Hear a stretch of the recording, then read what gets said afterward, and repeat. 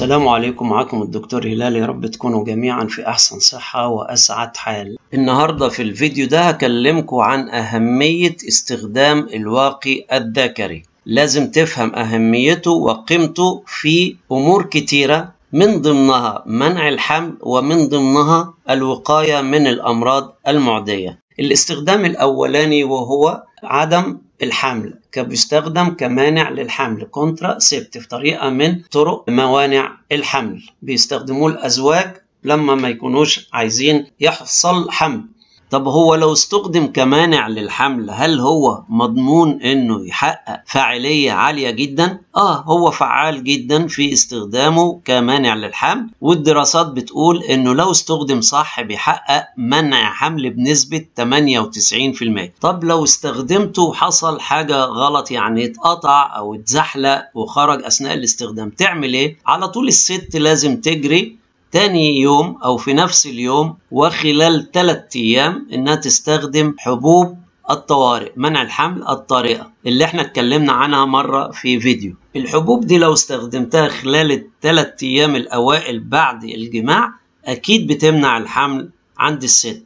وبرضه ممكن تستخدم إلى خمس أيام من الجماع. لكن كل ما كان بدري كل ما كانت النتيجة أضمن. الاستخدام الثاني وهو مانع للعدوى.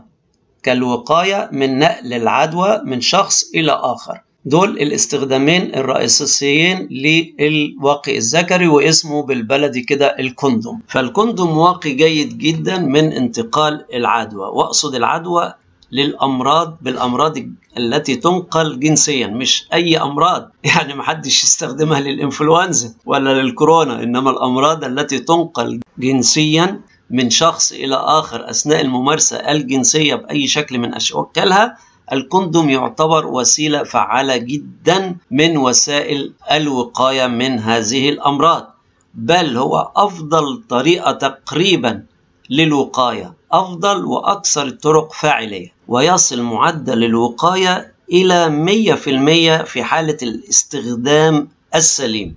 عشان تاخد النتيجة المرجوة من استخدام الكندوم أو الواقي الذكري لازم تستخدمه بطريقة سليمة وصحيحة. كيف تستخدمه بطريقة صحيحة وتضمن نتيجة مية في المية؟ يعني تكون مثالي في استخدامه معناها إيه؟ إنك أنت تحافظ عليه مستخدم يعني تواظب على استخدامه في جميع الأوقات التي تمارس فيها الجنس سيان للوقاية من العدوى أو منع الحمل.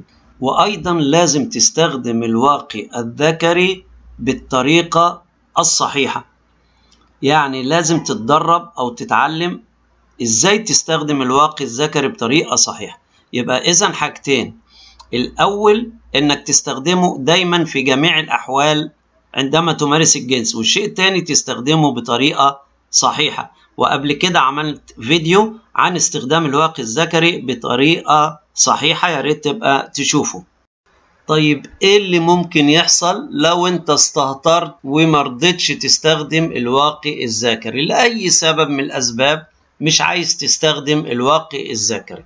إيه اللي هيحصل؟ هيحصل يا إما احتمال إن الست تحمل وأنتم مش مستعدين للحمل احتمال تاني إن ممكن تتعرض أنت أو هي للعدوى لو كانت وضعكم قد يؤدي إلى العدوى. فلازم ما تستهترش وتستخدم الواقي الذكري في هذه الظروف. وطبعا الأفضل والأفضل والأفضل إنك تمتنع عن الممارسة الجنسية الخطرة اللي هي قد تؤدي إلى الحمل بدون ما يكون الحمل مناسب أو تؤدي إلى العدوى الجنسيه